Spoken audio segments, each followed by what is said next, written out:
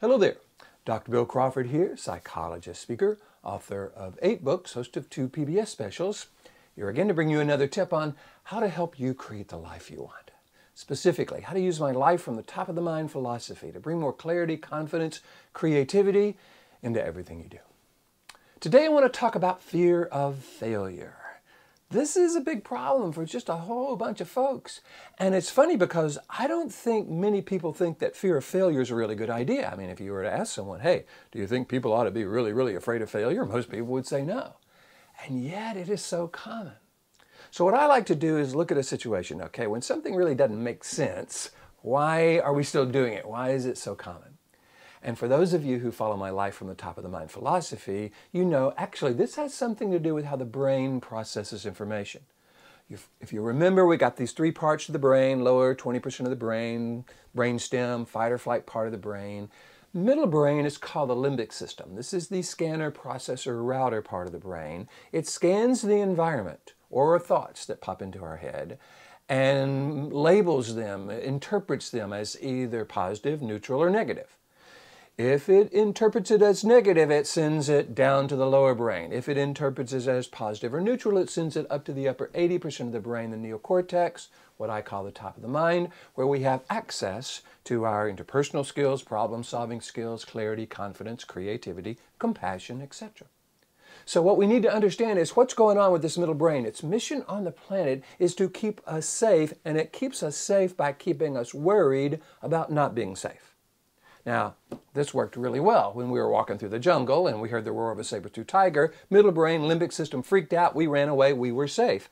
If we were in the village and we noticed that some of us, some people wanted to throw us out of the village, and we knew that we couldn't survive if we got thrown out of the village, then that fear of bad things happening kicked in and we were able to maybe do something about that. So in the past, this fear of not being safe and using worry to keep us safe has kind of evolved into using fear of failure or worry to keep us successful. And unfortunately, this was probably reinforced by uh, certain adults when we were growing up. People who loved us, wanted us to do the best and be successful, our parents, our teachers. I mean, how many of you were taught to fear making a bad grade in order to study so that we made a good grade? Or that we got into the college we wanted, or that we got uh, rewarded by our parents or our teachers and uh, you know seen as uh, somebody that they loved, which is understandable because on some level it works. When we use fear of failure to motivate ourselves to study, and then we study, study, study, study, well, we probably will do pretty well on that test. But what that does is it reinforces fear of failure as a way to success. Now, we didn't always think this way. We weren't born this way. Up till age probably, you know, one and a half, two, just about when we started to learn to walk. Have you noticed when babies are learning to walk, fear of failure is not an issue they're dealing with. You know, they pull themselves up and they fall down, but they don't see that as a failure. They don't like lay there and go, oh my goodness, I'm so embarrassed, you know, I'll never walk again. I'll just worm around on the floor for the rest of my life. They also don't blame the environment. It's this floor. Well, that's why I can't walk. Who's in charge of this floor? Because there is no fear of failure there. They see what isn't working, their failures, as part of a learning process. They pull themselves up and they recognize that they've leaned too far this way, they fall over. They pull themselves up and don't lean this too far this way, and they notice if they lean too this far this way, they fall over.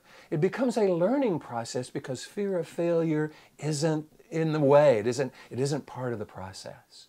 Eventually, we learn to kind of balance based on what we've learned, taking what we've learned and applying it to what we want to achieve. That's a whole different process than using fear of failure to become successful.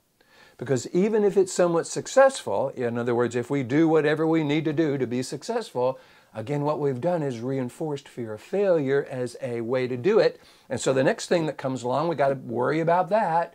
And all of a sudden, we spend a lot of our time worried about failure and then maybe have this spike of success. But then the next thing comes along, we got to worry about that. And we spend way more time worried. Now, worry and fear and anxiety and stress and frustration and anger and resentment are all brainstem responses. They're chemical changes in our brain and body, adrenaline, noradrenaline, and cortisol, that put us in that fight or flight situation. The problem is they trigger stress hormones. The most popular of these, the biggest one of these, is cortisol. Cortisol then triggers the production of glucose because in a fight or flight situation, glucose is where we get our energy. And now we're sitting here producing more cortisol and glucose in non-fight or flight situations. We're almost having to go through the brainstem to get up into the neocortex where we learn something and we, where we succeed. I suggest we look at that differently. Number one, we recognize that fear of failure is not something we need to hold on to. It is something we've learned, so we want to put a new belief in its place.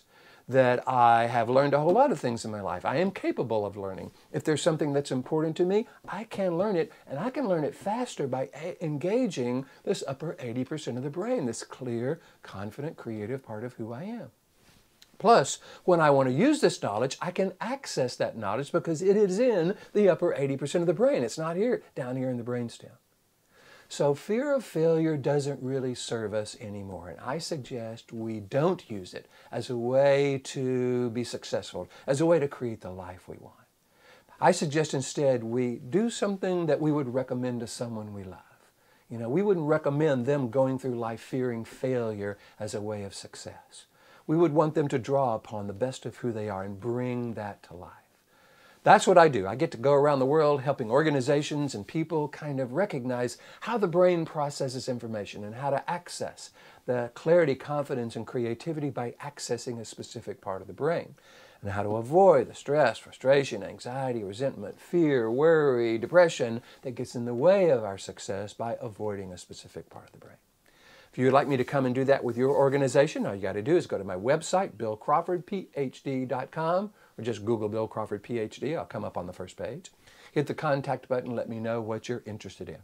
If you're liking these videos, please hit the like button. Feel free to subscribe to them on YouTube. Uh, follow me on Facebook. Uh, uh, uh, connect with me on LinkedIn. I put these on iTunes. I try to put them pretty much everywhere. If you're enjoying them, share them with your friends if you feel it's valuable, because I'm having a wonderful time bringing them to you. I hope you're finding them valuable. So, in the meantime, here's to you, bringing more clarity, confidence, creativity to everything you do. And I look forward to seeing you in the next video.